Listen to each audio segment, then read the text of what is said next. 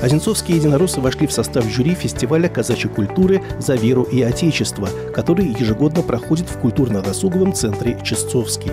Партийцы поддержали мероприятие в рамках проекта «Культура малой Родины». На сцене выступали как профессиональные артисты, так и участники различной самодеятельности, исполнители казачьей песни и танца из Одинцовского округа и других муниципалитетов Подмосковья. В завершении фестиваля единороссы вручили памятные подарки участникам фестиваля.